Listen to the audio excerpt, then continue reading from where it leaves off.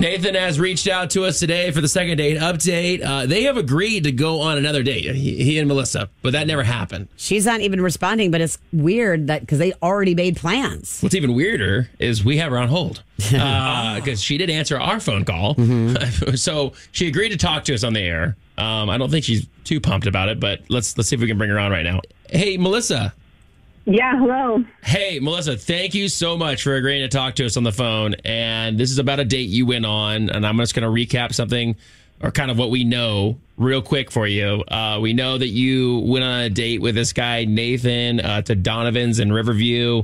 Uh, he was very excited about the date. He said he's been playing the date over and over in his head, thinking about what could have gone wrong. And all he can think about is the things that have gone right and the fact that you guys talked about hanging out again. And he's really, really trying to nail down that next date with you, but hasn't heard anything and is just confused on what's going on. So, is there anything you can tell us that might be the reason that you're not getting back to him? I just, I just want I want this done, okay? Because, I mean, I, I got to block him from social media. He's been, he's been texting, he's been calling, he's been on my social media. I get all these messages that he's, he's commented on stuff, and now he's calling you. What is up with this guy? Well, he's really into you, so I Yeah. guess Sounds like he's trying to get in touch with you. yeah. we had a great date. Yes, yes, yes. And then he was texting me fine. But I mean, I have like 35 notifications from him for every morning when I wake up. He's all over my social media. He's being a creeper. And you know what? This, hopefully, this phone call will make him stop. Okay, so what is he doing exactly on your social media? Just commenting on things, like I don't what is Liking it? pictures? He's going through my pictures from like years ago. He's liking all the photos. He's commenting on all the photos, all the posts. He's getting in fights with my friends over stuff that happened years ago. Wait, And? I'm getting all these comments, and I'm getting my friends, co- you know, contacting me, going, "Who is this Nathan person?" So he's arguing You know, with your friends in the comment section uh, on your pictures.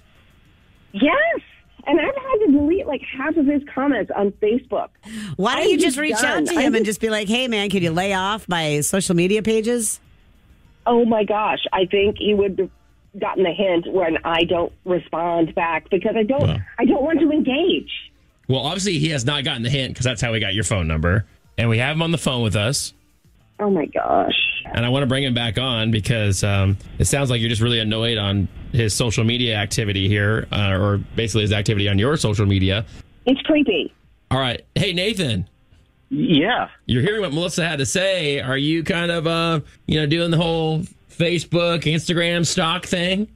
First of all, I don't think there's a problem with looking at your social media presence and just, you know, looking at you and trying to learn a little bit more about you and your background and stuff that maybe we haven't covered on our date. You know, I'm just trying to get to know you a little bit better. And if you would have called me back, I probably wouldn't have had to do some of these things. But, you know, I just got curious and I started looking at your, your social media stuff. I don't think that's a big deal.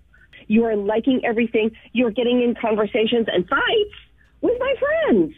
Like, hmm. It's not fights. Dude. It's not fights. I'm just I'm just trying to prove that you were right in the situation that you know some of your friends didn't seem to to feel that you had a right to say. So I'm just backing you up. I'm trying to get to know you a little bit better. If you'd called me back, maybe we, I wouldn't do this. but these are posts from like four or five years ago when I did not know you. Yeah, why, why are you involved in hmm. stuff that happened, you know, you know, a couple of years ago, Nathan? Just out of curiosity. When you look up somebody on social media or Facebook or something like that, you want to go through some of their stuff and say, you know, You what are they into? You know, have they changed a little bit? You know, can I go back and see what she used to look like? Has she changed her appearance? You know, hair color, cut, cut her hair, things Huh? like that. But you know, Why does I'm that just even trying to get to know matter a little bit better. before a second date? You know, Nathan, I was going to call you back, but you know, all of a sudden you're you're blowing up my social media and you're you're making all these comments and stuff. Of- And my friends are asking me about like who is this Nathan person? Of course, I'm not going to call you back. Okay, so obviously, when it comes to social media, you guys should probably stay away from each other. But you Yes. guys did have a good date. Um, I gotta ask this. I'm just gonna ask it. Ask it. Ask it. You got to. Um, Melissa, do you have any interest in seeing Nathan again? I have all the interest in getting him to leave me alone. All right, Nathan. Doesn't get more clear than that. I'm sorry, it's not the answer you probably wanted to hear. let's just lay off the social media stuff and let it. You guys just go your separate ways. All right, man. I mean, all this because I, I was liking posts. We had a great date, and now this is what happened. Just wasn't her thing. All right. I hope you guys can kind of just separate and not talk anymore because I think that's the best for everybody. And um, I do appreciate you reaching out to us, Nathan. And thank you, uh, Melissa, for coming on. Okay. Yeah, I hope this puts an end to it. I hope so too. All right. You guys take care.